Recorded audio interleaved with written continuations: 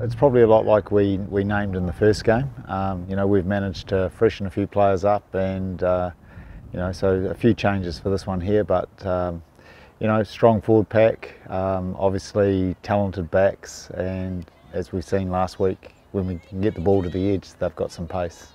You know, all the scientific data that we collect is, is telling us that we're in better better place than what we were for the Hong Kong game. So, you know, we're, we're pleased with that. It was it was a strategy strategy that we took into this game, into that game, and um, you know, we're comfortable with what it's delivered for us.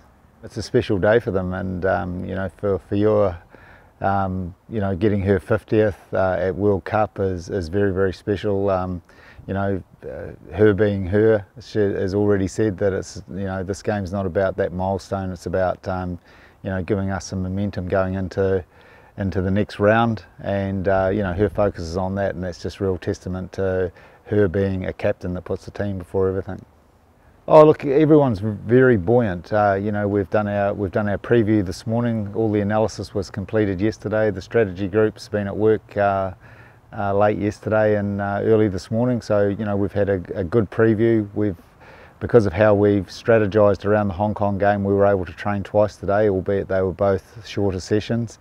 Um, you know, I think I think best described as excited, and uh, everyone's very buoyant. Yeah, look, it's still going to be interesting. Uh, you know, there's a number of things that could happen. I mean, hopefully, first and foremost, we, we can qualify and, and qualify top. Um, you know, first we've got to win this game. Uh, you know, the, the Hong Kong game was crucial in that, uh, you know, one, one of the things that's used to calculate is points for and against. So obviously a good tally for us and no points against us, so that'll hold us in good stead. But the, you know, there's a number of other teams really starting to show their wares, and I was impressed with uh, France the other night.